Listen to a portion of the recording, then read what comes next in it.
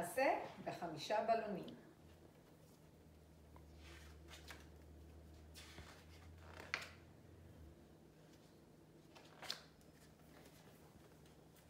אמא של רותי הביאה מתנה. שמחה וששון לכל ילד בלון.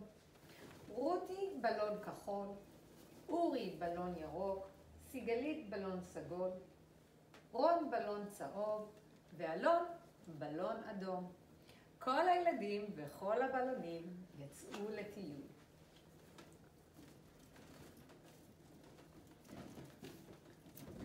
אורי שמח, רץ וקפץ, תפס את הבלון, ופתאום, בום, טראח, הבלון התפוצץ!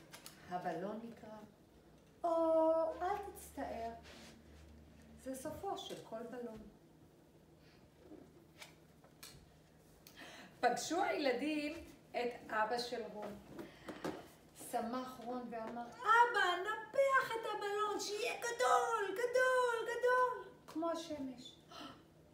אבא ניפח את הבלון, וניפח את הבלון, ופתאום, בום, טראח, הבלון התפוצץ.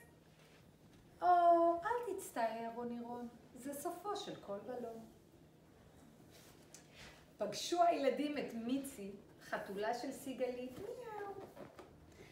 סרטה מיצי את הבלון בציפורתן, ופתאום, בום טראח, הבלון התפוצץ.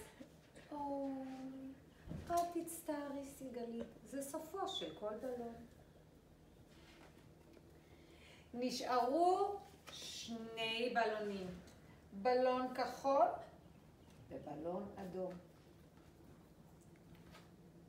פחדה רותי שגם הבלון שלה יתפוצץ. חיבקה רותי את הבלון. חיבוק חזק חזק, כמו שמחבקים את אימא. ופתאום, בום, טראח, הבלון התפוצץ, הבלון נקרע. אל תהיי עצובה, זה סופו של כל בלון. נשאר רק בלון אדום. הבלון של אלון. פתאום נשבה רוח.